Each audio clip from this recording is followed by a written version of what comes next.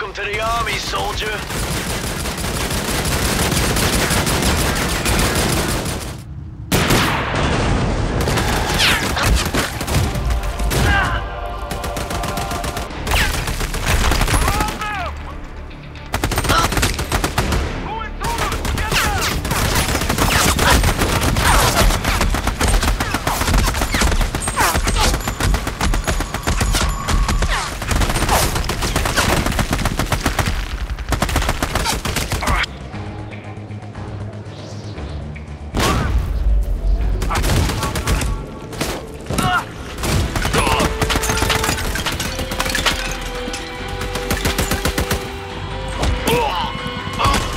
This is Army of Two for the PlayStation 3.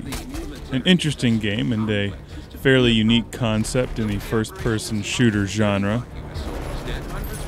I've been a big fan of first person shooters since Doom came out on the PC so long ago, and have played through a great number of them.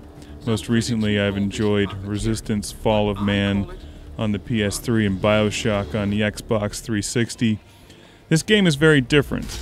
The camera angle is always a little bit off center from your character, and I had a very difficult time uh, getting into the gameplay on this game because of that.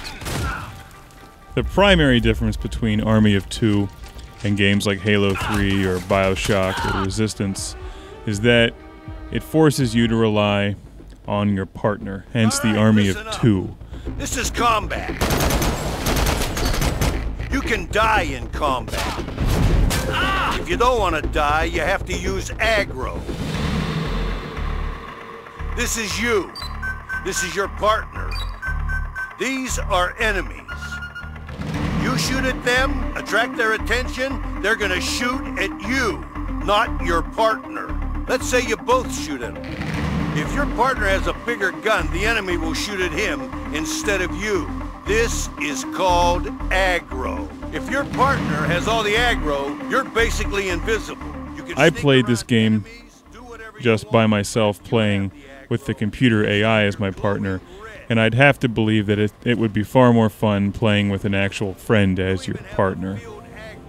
Although the AI partner worked fairly well, I had a hard time getting into the gameplay on this game.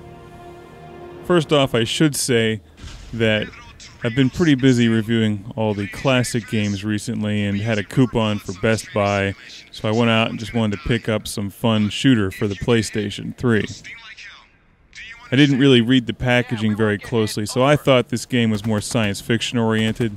It has those two guys in the cover with machine guns and really cool looking face masks, so it seemed like it might be uh, somewhat fantasy oriented, and obviously I I was very, very wrong.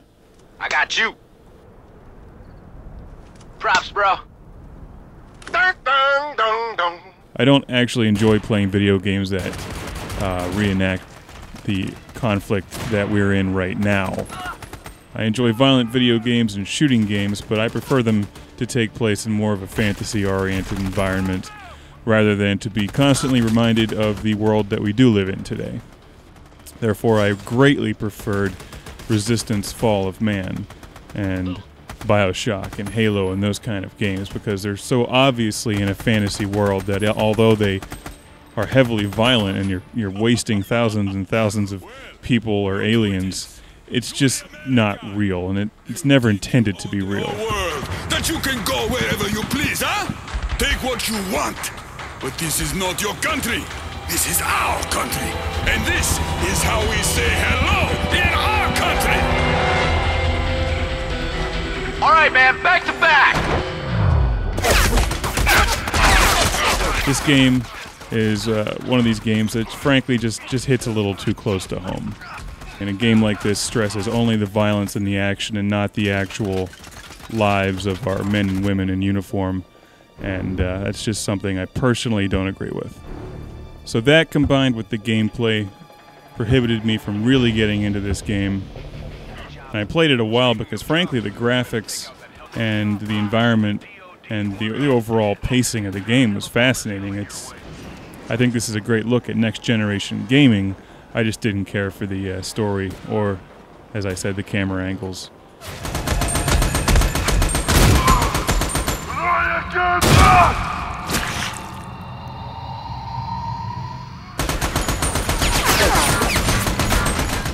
And even a game like Grand Theft Auto is so obviously in a fantasy made up environment that you can run around and use a flamethrower on people and blow cars up, and it's just clearly not real.